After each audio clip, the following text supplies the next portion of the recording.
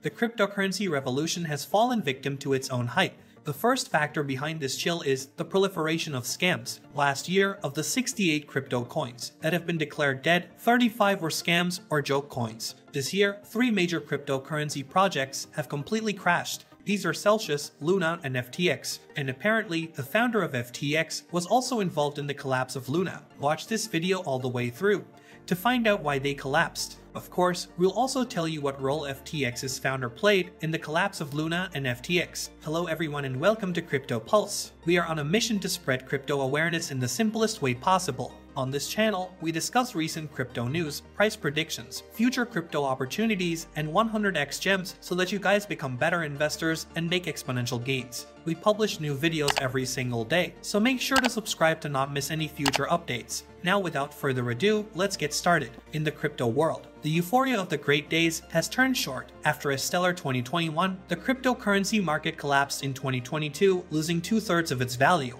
already facing a major crisis of confidence. The sector is now facing the fallout of the FTX scandal. This exchange platform, a major player in the sector, was forced to file for bankruptcy on November 11th, following revelations of fraudulent transactions affecting several hundred thousand creditors worldwide. As a reminder, FTX was the second largest cryptocurrency exchange in the world, its collapse caused 1 million victims in the crypto sector, a drama that contrasts with the extraordinary daily life of its employees and even more of its founder, totally disconnected from reality and propriety. Many users still have their funds blocked, up to several billion dollars. On November 13th, the authorities in the Bahamas and around the world launched investigations. Apparently, Sam Bankman Fried, the founder of FTX, remains unaccounted for and says he is in hiding for his safety. Many companies have already ended their partnerships with the platform, and many assets related to FTX have been frozen. The number of people affected by the bankruptcy exceeds 1 million, and the amount of money lost is in the range of $10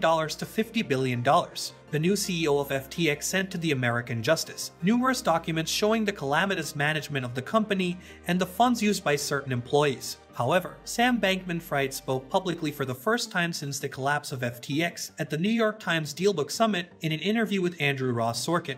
He took the opportunity to say that, contrary to the advice of his lawyers, he preferred to speak publicly to set the record straight without specifying how it would be feasible. He also said that it was still possible to fully repay the creditors of the platform, Regarding him, he revealed that he now only has a bank account with a balance of $100,000 and that only one of his bank cards remains functional. Overall, the ex-CEO of FTX has mostly repeated that the various elements that have emerged since the fall of his empire are primarily risk management errors and unintentional mistakes. However, he did acknowledge that the platform did not ensure its clients deposited funds at a one-to-one -one ratio. Regardless, FTX is effectively dead, and we hope that Sam Bankman will find a way to refund all victims of this crash. However, the FTX crash is not the only scandal Sam Bankman-Fried is accused of. Indeed, he is being reinvestigated for the role FTX and Alameda may have played in the collapse of the Terra ecosystem last May. The news was reported by the New York Times, which cites anonymous sources close to the case. Federal prosecutors in the United States are reportedly looking into possible market manipulation by Sam Bankman-Fried shortly before the collapse of the Terra ecosystem. Luna's algorithmic Terra USD stablecoin had the flaw of being well under collateralized and investing most of its reserves in Bitcoin, which made it vulnerable to a rapid drop in cryptocurrency prices. Rumor has it that some whale placed large bets against Luna, Terra USD, and Bitcoin, which accelerated the fall of Terra Luna USD, with investors leaving UST at lightning speed when it became clear that the under collateralized reserves would be quickly exhausted.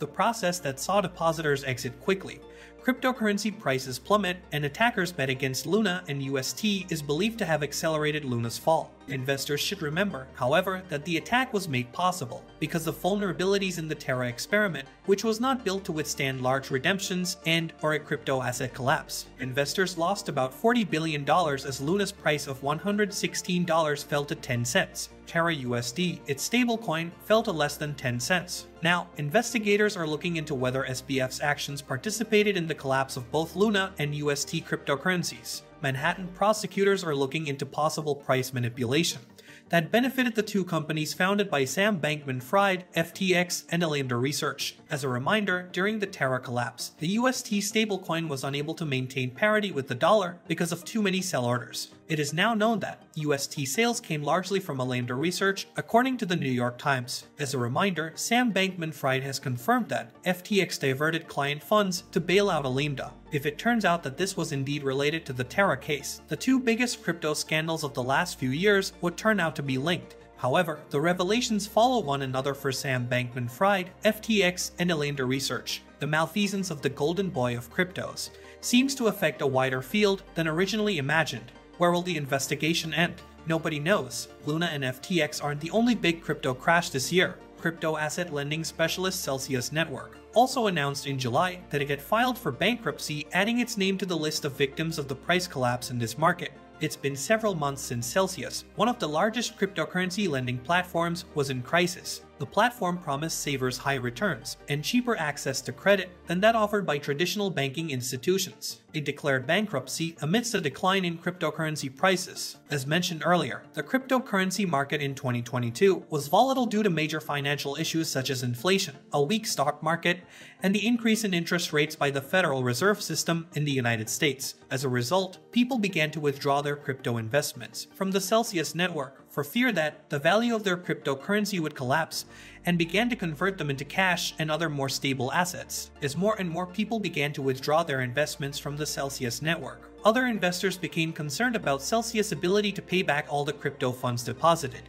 This in turn created a panic, where more and more people started to withdraw their deposited crypto funds from Celsius, just hours after Celsius announced that it was freezing all withdrawals. The value of the Celsius cryptocurrency dropped by 70%, the price of the Celsius token continued to fall over the next few days. Along with the drop in the Celsius price, the crypto market has seen a massive sell-off due to the volatility and falling prices of various major cryptocurrencies. On July 3, 2022, Celsius announced that it would be laying off 23% of its total staff as the company faced growing liquidity issues. And on July 13, 2022, the company finally filed for bankruptcy. So, overall, this year has not been good for crypto, and well, Richard Heart predicted that as a reminder, in 2017 Richard predicted that Bitcoin would reach $20,000 when it was only $5,000 and he called the Bitcoin top at $20,000. In 2019 he also predicted that Bitcoin would reach $60,000. Richard called the top on Bitcoin at $65,000 on the day, warned everyone about the Ethereum top, and reminded everyone